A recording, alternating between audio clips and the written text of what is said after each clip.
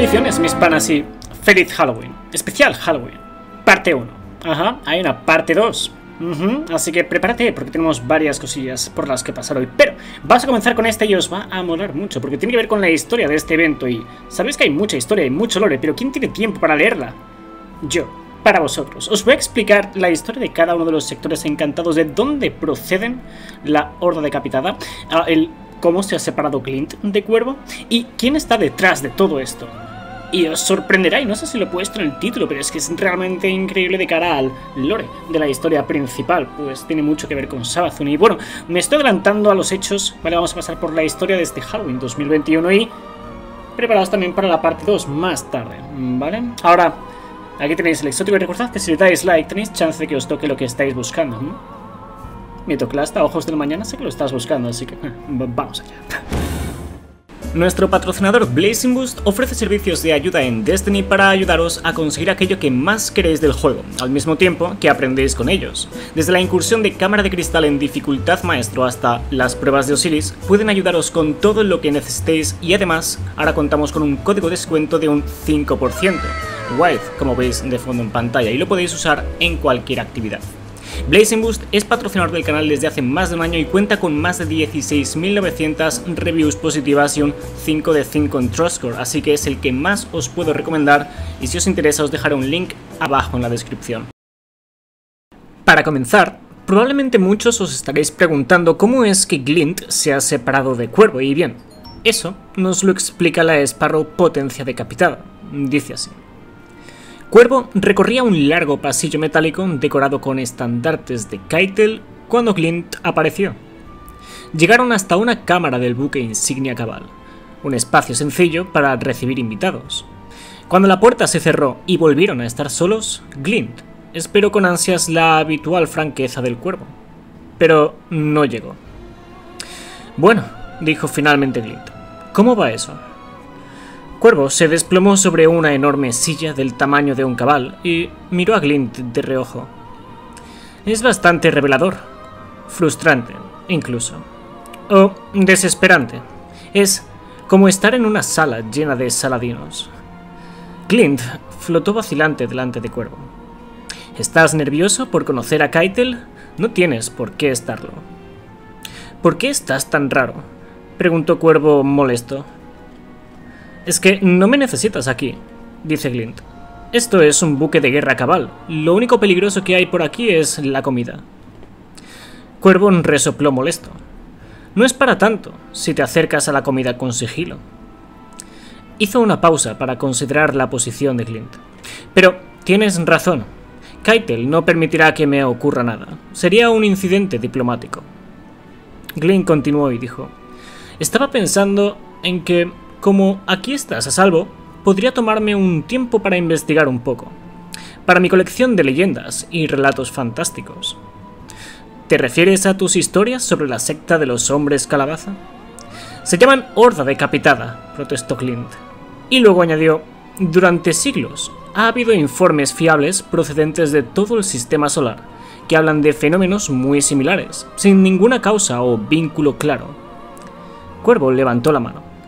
La horda decapitada, dijo interrumpiendo el análisis de Glint. El espectro retrocedió ligeramente y asintió.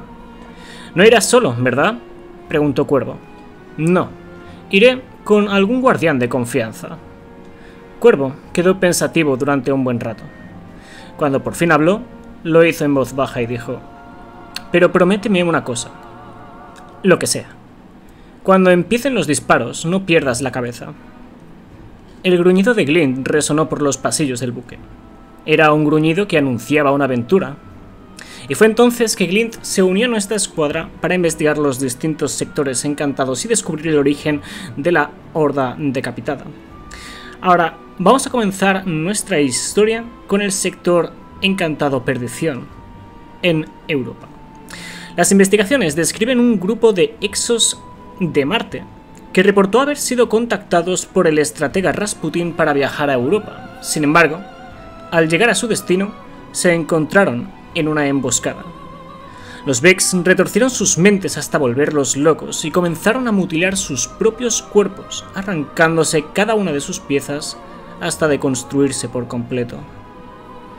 Tras investigar, Glynn nos explicó que los Exos se arrancaron la cabeza para tratar de escapar y que, de sus despojos surgió la Horda Decapitada. Ahora, el capítulo Europa 8 describe los momentos finales de este grupo de Exos y dice así. El Exo Mortimus 3 parecía satisfecho tumbado en la cinta transportadora como si estuviera plácidamente dormido. Me dio envidia. Cuando la cinta transportadora se puso en marcha, los brazos larguiruchos y neumáticos del creador cobraron vida. Descendieron sobre Mortimus y empezaron a manipular rápidamente sus articulaciones, desmontándolo pieza por pieza. Empezó por las manos y los pies y fue avanzando hacia adentro, descomponiéndolo en un millón de diminutas piezas. Por un momento, después de que le hubieran desmontado los miembros y el torso, dejándolo reducido a una cabeza con una maraña de conectores neurales que colgaba de su cuello como una medusa robótica, sus ojos se abrieron me miró con la boca entreabierta como si intentara decir algo y entonces sus ojos se oscurecieron. Ahora me toca a mí. Entonces, como veis, esto relata los últimos momentos de un exo que estaba a punto de recibir el mismo final que el anterior, y es que los despedazaron a todos, pero parece que se dejaron hacerlo. Como bien nos dijo Glint, los Vex los volvieron locos. El caso es que tiene que haber alguna conexión con este tipo de locura, ¿vale? Con esta horda y con las de los otros sectores que de hecho se encuentran en otros planetas. Puede que los Vex simplemente hayan aprovechado la situación o que sepan algo que nosotros no sabemos. De cualquier modo siguen habiendo muchas preguntas que, veréis, se resuelven durante los próximos sectores. Ahora, el siguiente sector encantado es el de Nessus. Aquí, aprendemos que la Horda Decapitada busca eternamente a sus espectros, lo cual es un dato muy particular e importante.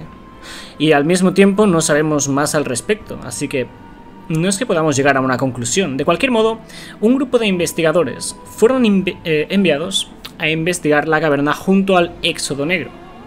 Ese grupo, sin embargo, perdió el contacto y desapareció. El siguiente grupo enviado descubrió los cuerpos decapitados del anterior equipo. Reportó que habían robado sus armas, sus espectros y sus cabezas. También habían reportes de que habían disparado, habían explosiones y era todo una locura. Y de cualquier modo, al llegar, descubrimos la verdad y es que la horda decapitada estaba detrás de todo esto.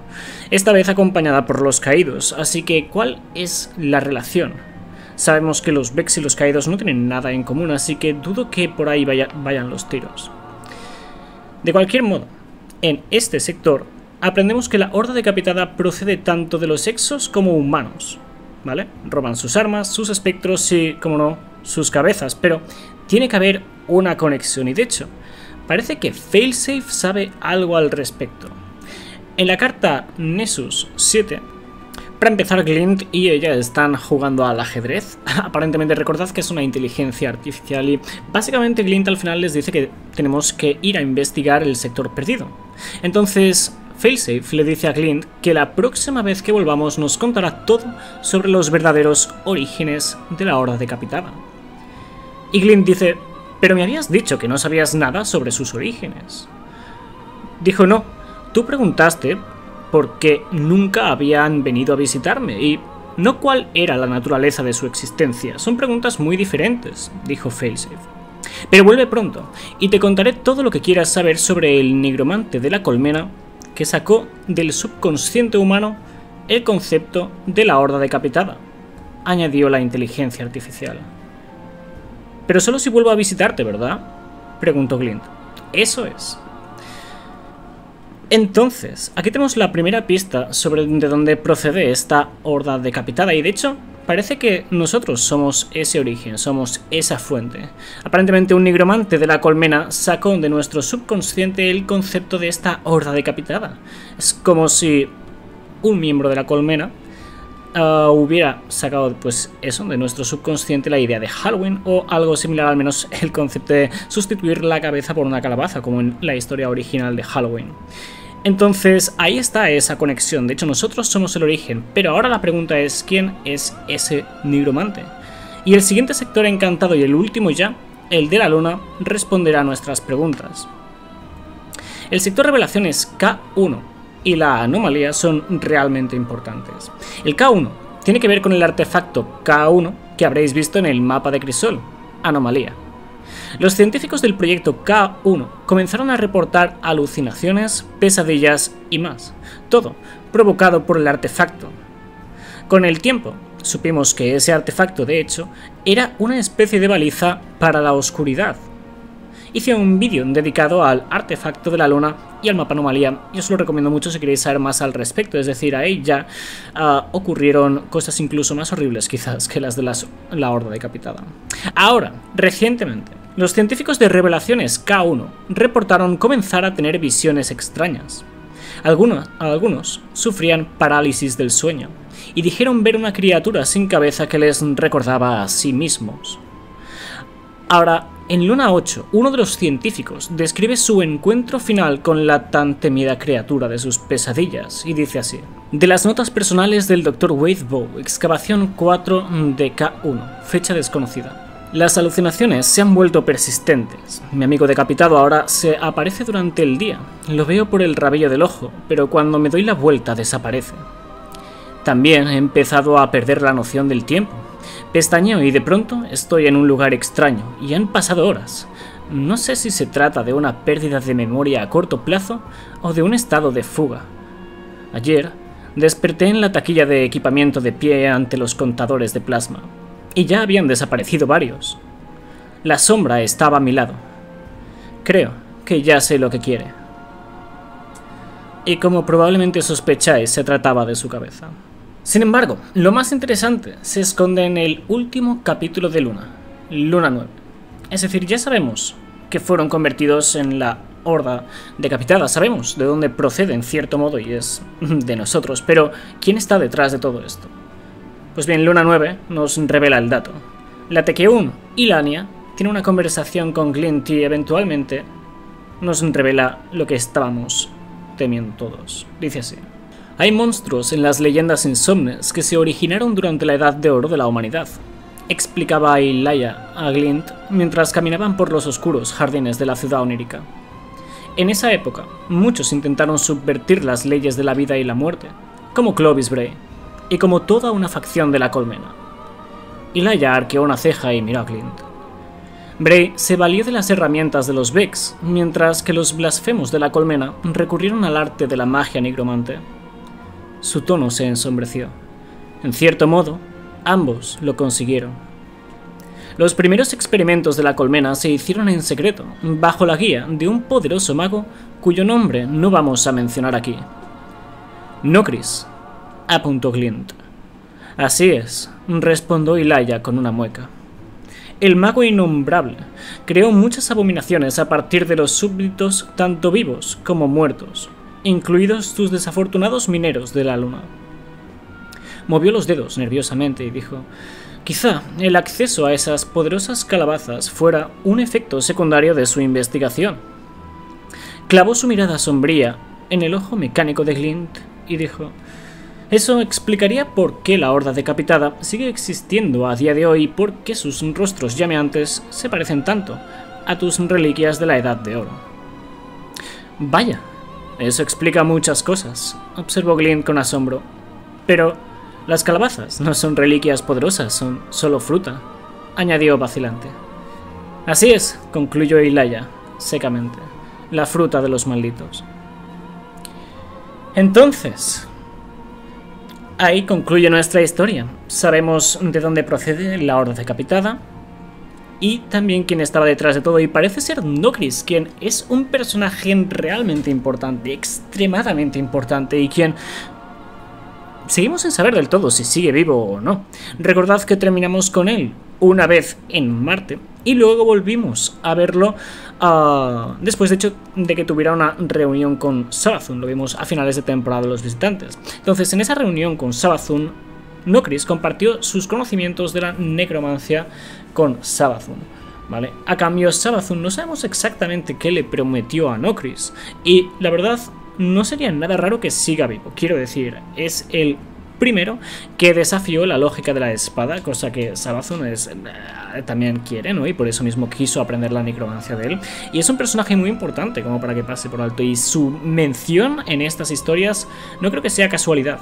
Recordad, Pronto Sabazun aprenderá a manejar la luz en cierto modo o se la proporcionarán, ¿vale? Y es muy similar a la necromancia, ¿vale? Al revivir a los muertos, los espectros y eso, así que es muy posible que esa habilidad de la necromancia y Nocris estén conectados con lo que quiere aprender Sabazun para revivir a su ejército, ¿no? Y crear a los guardianes Colmena, entre otras cosas. Ahora, no quiero mezclar las cosas, ¿vale? Es definitivamente importante la mención de Nocris en estas historias. Y por otra parte, también son historias. Hay varias cosas del lore que quedan explicadas y en cierto modo es como que todo tiene sentido, ¿vale? Es decir, como podéis ver están bastante más enfocadas a un evento temático, ¿no? A Halloween, pero la verdad que el lore está genial. Y sus historias también, así que decidme qué os han parecido abajo en los comentarios. Y oye, hay muchos más capítulos, mucho más lore en este, en este evento, ¿vale? He querido resumir lo que viene a ser la historia principal para terminar con la investigación de una vez por todas y, llegar a la conclusión de quién era quien estaba detrás de todo esto, ¿no, Chris? Pero decidme abajo en los comentarios cuál es vuestra carta favorita de entre todas estas. Porque estoy seguro que muchos tenéis todas estas cartas y decís cuáles son las mejores para leer, pues eso lo tendréis que decir vosotros abajo en los comentarios. Decidme cuál es vuestra favorita para que otros se las chequen también. Y dicho eso, que sepáis que hay una segunda parte de este especial de Halloween más tarde, ¿vale? Así que sí, Y bueno, si estás viendo este vídeo más, más tarde, pues que sepas que ya debe estar por ahí, así que chécate la otra parte. ¡Bendiciones! ¡Feliz Halloween! Dile a tu madre que la quieres. Suscríbete si no lo estás. Hazme el favor de tener un buen día. Ah, y nos vemos en el próximo vídeo. Ahora en breves. Adiós.